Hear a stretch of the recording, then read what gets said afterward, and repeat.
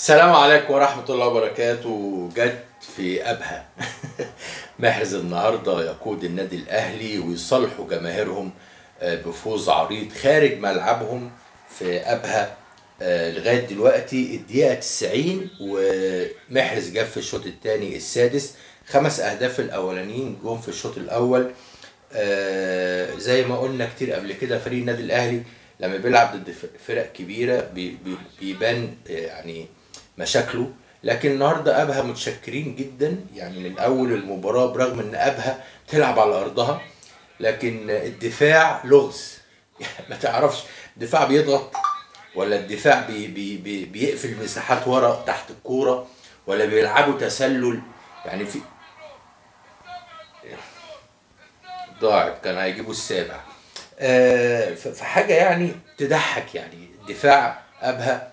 أنتوا بتدافعوا إزاي؟ فتلاقي لعيبة النادي الأهلي آه، الأهداف كلها في مساحة. الأهداف كلها مفيش حد بيضغط على حد. الأهداف كلها آه، مفيش يعني في هدف طلعوا على إنه يبقى تسلل راح انفراد. فحاجه تضحك يعني.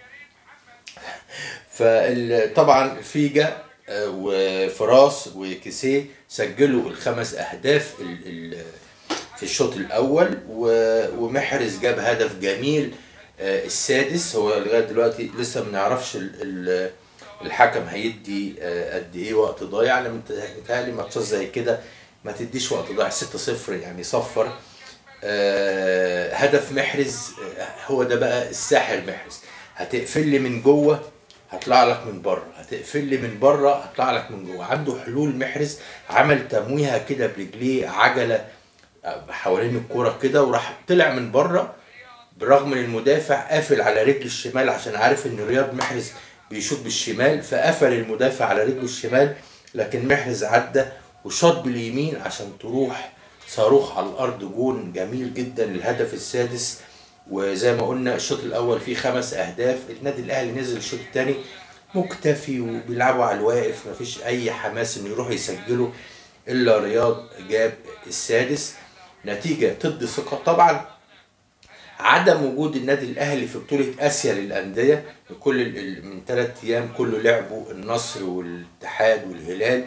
النادي الأهلي خرج من بدري فدي ريحته. النهارده في راحة للعيبة ما لعبوش من ثلاث أيام أو أربع أيام فعندهم نفس اللي هم يقدروا آه، يلعبوا كويس. وفعلا الشوط الأول خارج ملعبهم وسجلوا خمس أهداف. الراجل زي ما قلت لكم عمل ثلاث دقايق آه، وقت ضايع.